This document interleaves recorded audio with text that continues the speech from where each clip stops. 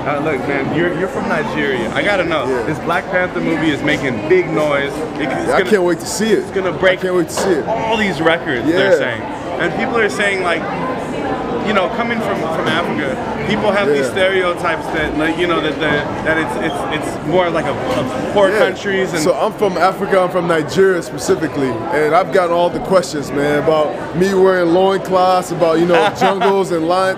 So I think it's it's great to have a movie that depicts the real Africa. You know, we're a very rich. You know, Africa is a very rich continent.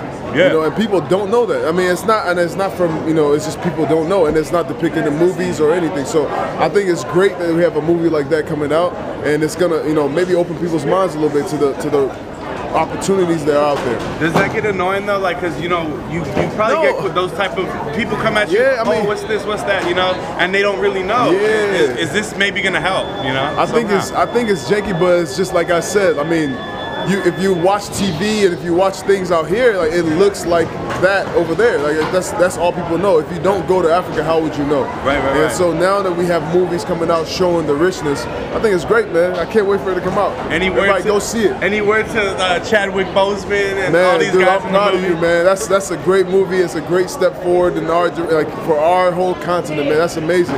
Appreciate you. If they do a sequel, if they do a sequel, What's up, bro? If they do a sequel, are you down to jump in there? Get up. Yeah. If they do a sequel, are you down to get in there? Me, you know? hey man, I don't know if I, I I'm not ready to hang up my shoes yet. So I mean, but uh, let's let's focus on basketball right now. But yeah, why not? Why not? Thank you, brother.